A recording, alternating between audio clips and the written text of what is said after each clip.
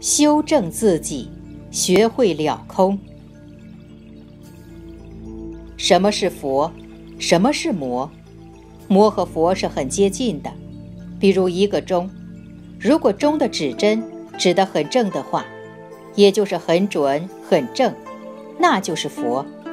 如果你修心修的偏差了，你这个钟整天就走不准，不是快就是慢，这就是偏差。出偏差就是魔，佛的偏差就是魔。很多人说。师傅的法门是基础，是修世间，以后上不了西方极乐世界，可能吗？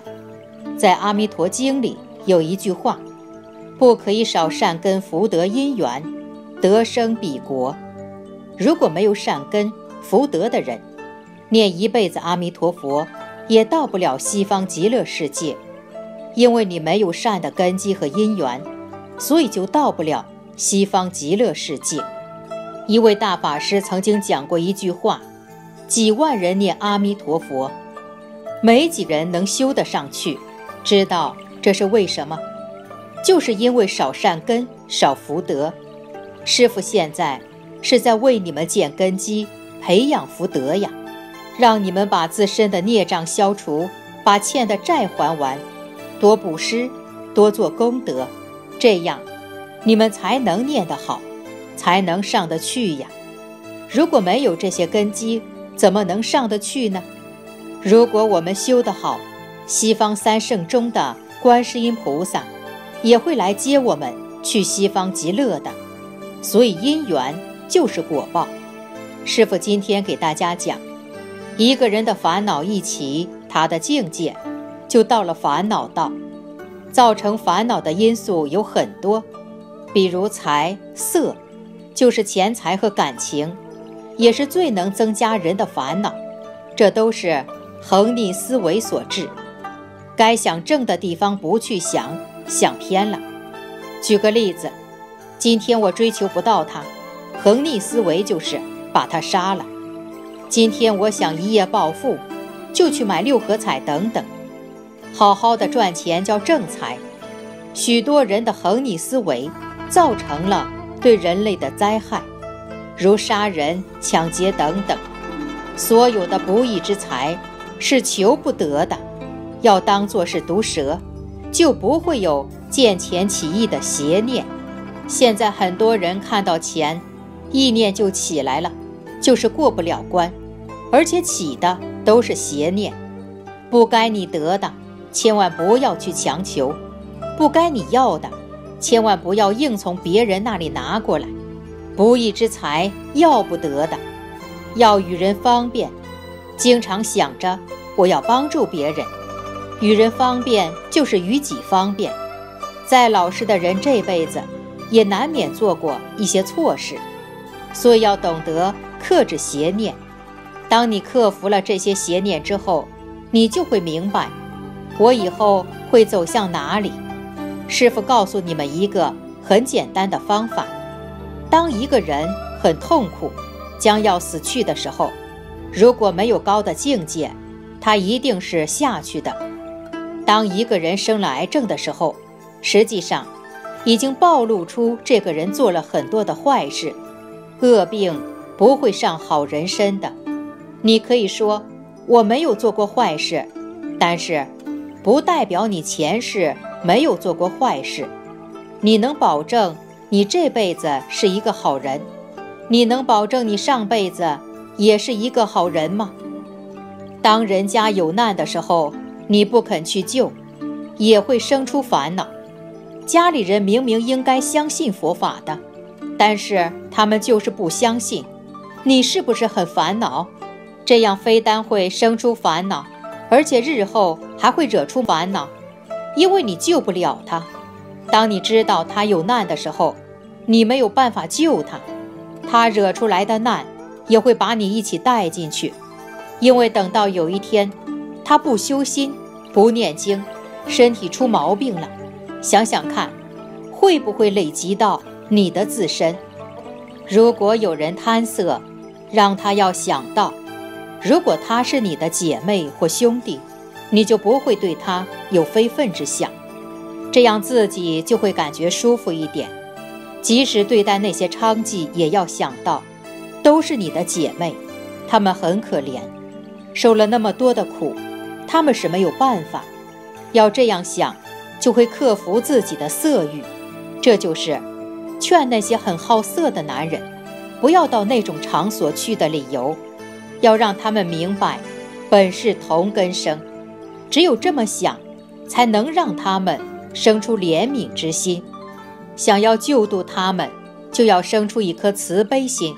比如，今天他们很苦，我要救度他们；今天他们不明白道理，我要救度他们。我要像菩萨一样救度他们，把他们当作是自己的亲人。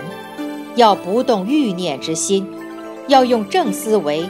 来克制住邪思念，夫妻之间也要相敬如宾，人不要经常做畜生之事。学佛就是教大家要有怜悯之心、慈悲之心，不要心存邪念，要先灭自身的欲念，然后你的烦恼也会灭掉，其中包括父母亲对孩子的欲念，这都是不好的，认为我生了你。你就必须对我好，我养大了你，你就必须孝顺我，这些都是欲望，连这些欲望都不要有，你就没有烦恼了。要有澳洲政府的理念，孩子是国家的，不是你自己的私有财产。国家给你补助金，是要你帮助国家抚养他们，所以不能打，不能骂孩子。没有了这些烦恼，就没有欲望了。没有欲望了，就不会有烦恼。这就是学做人。欲望会着魔的。如果你整天想不通，想得过多，魔随时都会上你的身。如果人过偏激，就是魔。要记住，要用心来教育孩子，这样就可以灭除忤逆之心。忤逆之心是指背叛家庭，对父母不好。反叛之心，最好给孩子念心经，让孩子开智慧，有所转变。师傅对你们，就像对待自己的孩子一样，苦口婆心，不断的教育你们，为的就是让你们早日想通悟道。人家对你不讲理，你要生出怜悯之心。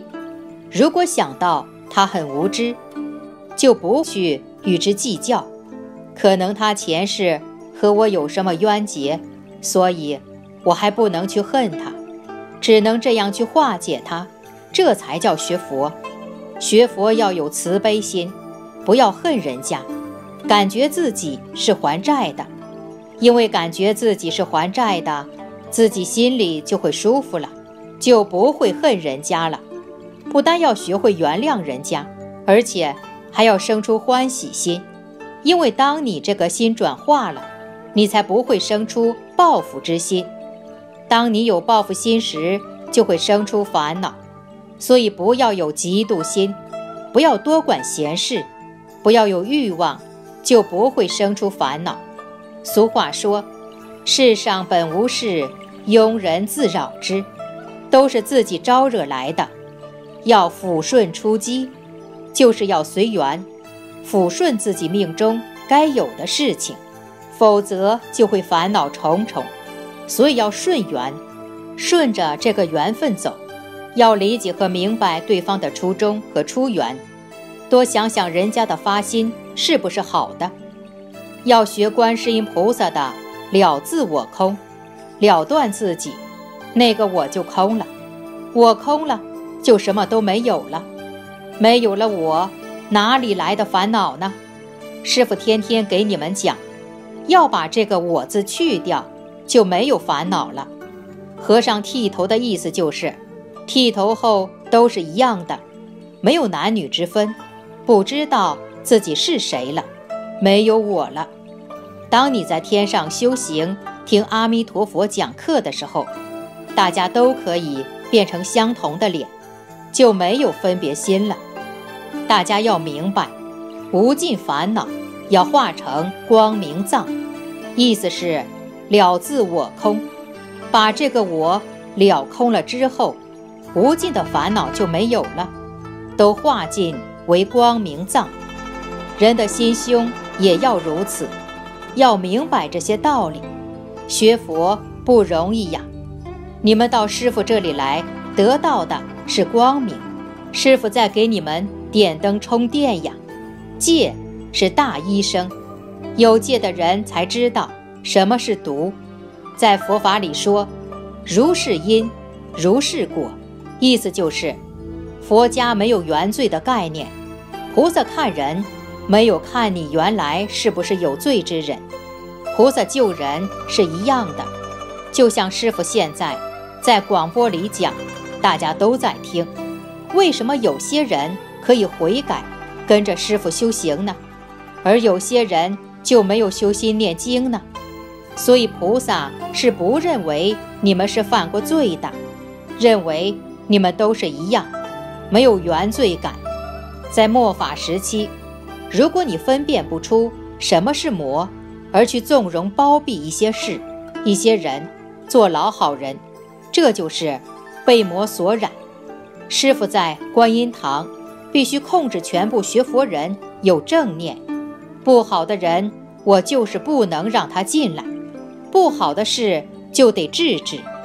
众生有很多不好的东西，菩萨也在劝众生要戒，要与人为善，修心。